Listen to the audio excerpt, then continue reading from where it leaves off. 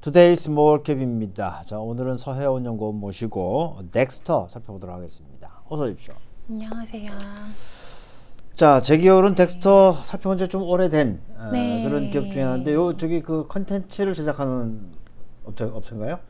어, 정확하게 말씀드리면 VFX를 만드는 기업이라고. 돼요. 그게 이제 visual effect라고 하는 건데 아. 가장 쉽게 이해를 하시기에는 CG를 만드는 회사라고 CG 회사 예, 보시면 예, 될 예. 것 같습니다. 컴퓨터. 예.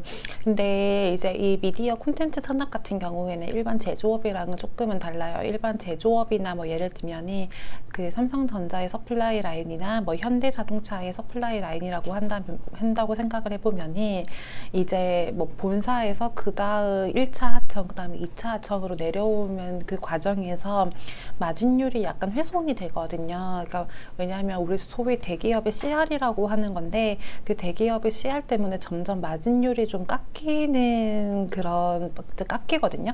깎이는데 미디어 콘텐츠 산업 같은 경우에는 그런 게 하나도 없어요. 그러니까 원래 원청은 보통 CJ ENM이나 스튜디오 드래곤, 뭐 J 콘텐츠리가 있다고 한다면은 그 다음으로 내려오게 되면은 마진율을 그렇게 박하게 깎는 상황은 아니고요. 그리고 일반적인 제작사 밑에 그 다음에 이런 VFX 처리를 하는 기업이 있는데 오히려 이런 기업들이 실제로 이익률이 더 좋은 경우가 있습니다. 예를 들면이 어. 이 덱스터랑 경쟁 기업이라고 경쟁 많이 비교를 하는 업체가 위지윅 스튜디오 같은데요. 위지윅 스튜디오는 실제로 마진율이 두 자릿수를 기록을 하고 있다 이렇게 보시면 될 것 같고 덱스터 같은 경우에는 어 일단 제가 이 전반적으로 말씀드리면은 비즈니스 모델이 좀 변화해가는 과정에 있는 기업이라고 좀 말씀드릴 수 있을 것 같고요. 그렇기 때문에 좀 관심 종목으로 말씀을 드리는 편입니다.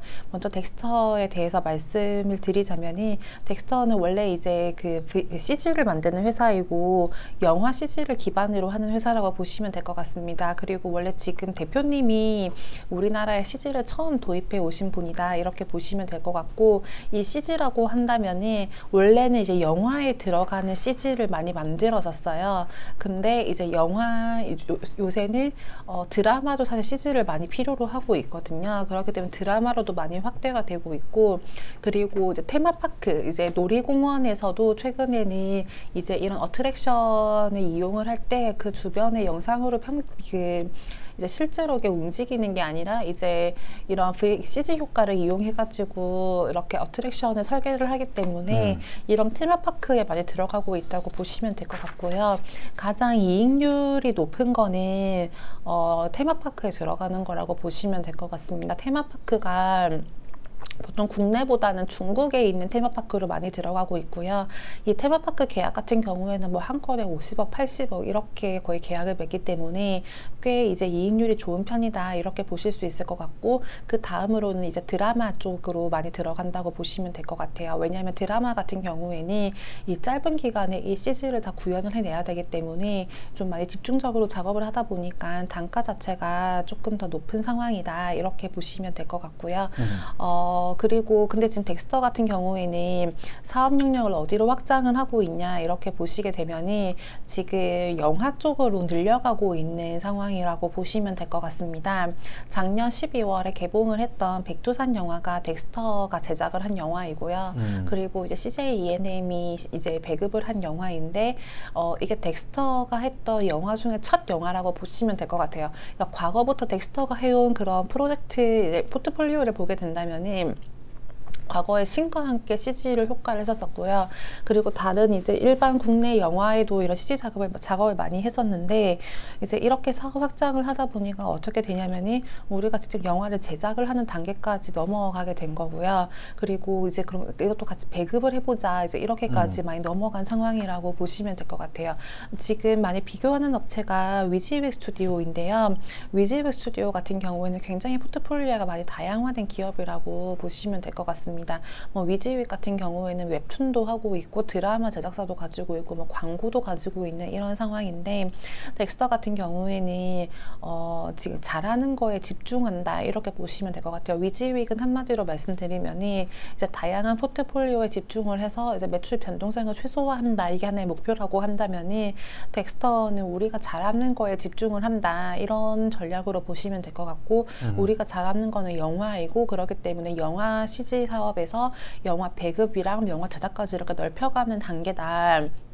이렇게 보실 수가 있을 것 같은데 근데 사실 영화 사업이라는 게 제가 작년에 이 말씀 한번 드렸었었는데 영화가 어 사실은 좀 이제 국내에서 박스 오피스 시장 규모 자체가 굉장히 한정적인 상황입니다. 뭐 국내에서 사실 국내에서 뭐 영화를 1인당 보는 횟수가 4.23일 정도 되는데 뭐 이 횟수가 거의 5년 동안 변화가 없는 상황이기 때문에 국내 시장은 상당히 정체되어 있는 시장으로 보고 있고 그렇다 보니까 영화 사업자라고 하는 뭐 쇼박스나 뉴 같은 경우에도 multiple을 많이 받지를 못하고 있는 상황이에요. 근데 이 multiple의 타겟을 어떻게 하냐면은 드라마 사업에 진출을 하게 되면 되면서 이렇게 많이 multiple을 다시 음. 이제 좀 많이 프리미엄을 받고 있는 이런 상황이 있는데 그렇기 때문에 덱스터가 영화를 하게 된다면은 과연 얘가 잘할 수 있을까 이제 그런 사실 의구심이 있었던 거는 사실이에요. 왜냐하면 좀 작은 회사이기도 하기 때문에 근데 지금 영화의 과거에 지금 덱스터가 해온 영화들을 보면은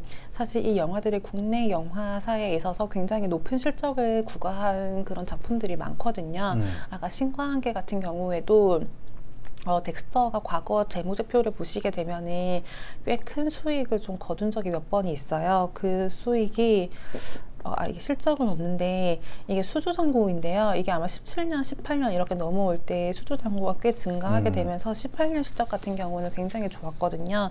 그 이유가 이제 그 신과 함께의 얘네가 같이 같이 이제 투자를 하게 되면서 이 투자 수익이 생각보다 크게 발생을 했었습니다. 왜냐하면 신과 함께 1, 2가 굉장히 잘 됐기 때문에 이제 그렇기 때문에 영화가 잘 된다는 걸 경험을 했기 때문에 영화 직접 제작을 하는 텍스, 그 백두산을 처음 영화로 하게 되었고요.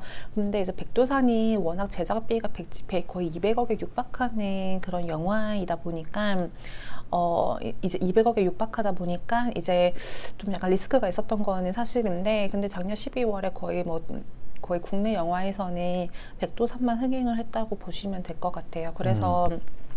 백두산의 BEP가 거의 700만 수준으로 수준이었는데 지금 이 수준은 거의 상회를 한 수준이기 때문에 지금부터 음. 들어오는 거는 거의 다 이익이라고 보시면 될 것 같고 그리고 이거 이외에도 뭐 판권을 판매를 한다든지 그리고 뭐 IPTV로부터 나오는 수익들이 여전히 유효하기 때문에 이미 백두산은 수익 구간에 진입을 했다 이렇게 보시면 될 것 같습니다. 그러면 이제 올해는 어떤 영화 하냐 하냐 이렇게 보시면 그렇게 할 수 있는데 지금부터 영화 제작에 들어가고요. 지금부터 들어가는 제작이 아마 더 문이나 이런 영화들, SF 영화들이 두세 개 정도 올해 제작에 들어갈 예정입니다.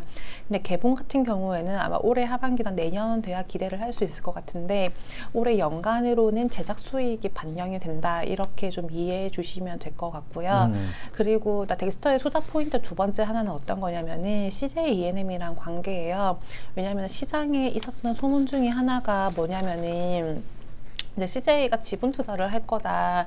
사실 이런 뉴스 기사가 많이 그 돌게 되면서 실제로 덱스터 과거에 2019년도에 주가를 보게 되면은 한 번씩 튀었던 때가 있었어요. 그때 이제 이런 이슈가 있었던 적이 있었었는데, 근데 지금 아직 공시는 안 나온 상황입니다. 근데 뭐 작년에 2019년도에 했었던 덱스터의 수주 잔고를 보시게 되면은 이거는 사업 보고서에 그 있거든요. 사업 보고서 연결 재무제표 주석에 수주 잔고라는 부분이 있는데 그 수주 잔고를 주로 어디랑 했는지 많이 보시게 되면은 보통 CJ랑 한 게 많아요. 특히 음. 드라마 같은 경우에는 스튜디오 드래곤이랑 하는 경우가 많기 때문에 덱스터 같은 경우에는 CJ랑 굉장히 우호적인 관계를 이어나가고 있다. 이렇게 봐주시면 될 것 같아요. 근데 CJ 그룹 자체가 국내에서 콘텐츠를 제작하는 규모는 가장 큰 회사이거든요. 그렇기 때문에 거기서 낙수 효과로 덱스터가 받아올 수 있는 게 꽤 크다. 이렇게 볼 수가 있을 것 같고요. 그리고 어쨌든 큰 포트폴리오가 변화하는 과정에 있는 기업이고 어, 또 하나 더 기대를 할 수 있는 부분은 이거는 중장기적 모멘텀이 될 수 있을 부분인데 이제 신과 함께 3, 4도 이제 같이 할 예정이거든요. 음. 그렇기 때문에 이제 콘텐츠 쪽에 있어서는 좀 관심을 가져도 될 기업이지 않을까 이렇게 판단을 하고 있고 그리고 지금 최근에 한한령 해제에 대한 기대감이 음. 사실은 음. 조금 고조되고 있는 분위기입니다. 그렇기 때문에 뭐 엔터 콘텐츠 제작사들 이런 부분 다시 기대해 보시면 좋을 것 같고 특히 이제 이런 영화와 관련된 사업자들 같은 경우에는 이제 영화가 중국으로 판매가 되고 이게 실제로 개봉되진 않았어요. 그렇기 때문에 개봉이 된다면은 여기서 받는 로얄티 수익이 좀 기대할 수 있는 부분이 있기 때문에 영화 사업자는 좀 한한령 해제에 대한 좀 기대감을 가져도 될 사업자다 이렇게 판단을 하고는 있습니다. 그리고 이제 여기 하나 더 말씀드리면은 그 넥스터가 이제 중국에서 원래 이 수주 잔고에 보면은 중국이랑 계약된 게 되게 많아요. 그렇기 네. 때문에 중국에서 들어와야 될 수익들이 사실 이게 자꾸 미뤄지고 있다 보니까 19년에 좀 매출이나 이익이 조금 기대치보다 못한 부분이 있는데 음. 그러다 보니까 이 일부 수주 잔고는 그 정리를 한 게 있어요. 19년 같은 경우에는 19년에 좀 중국이랑 도저히 계약이 미뤄질 것 같거나 계약 상대방의 부실한 계약 같은 경우에는 아예 그냥 수주를 그냥 그 계약 자체를 취소해 버리고 이렇기 음. 때문에 좀 그런 안정성이나 건전성에 있어서는 어, 지금 우려할 수준은 아니다 이렇게 보고 있고 오히려 지금 2020년의 초점 같은 경우에는 국내 영화 제작 매출이랑 그리고 드라마에서 VFX 얼마나 받아오는지가 관건이 될 것으로 판단 하고 있습니다. 음, 그렇군요.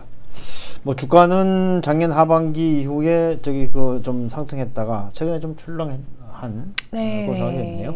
예, 알겠습니다. 여기까지 모시도록 하겠습니다. 고맙습니다. 감사합니다.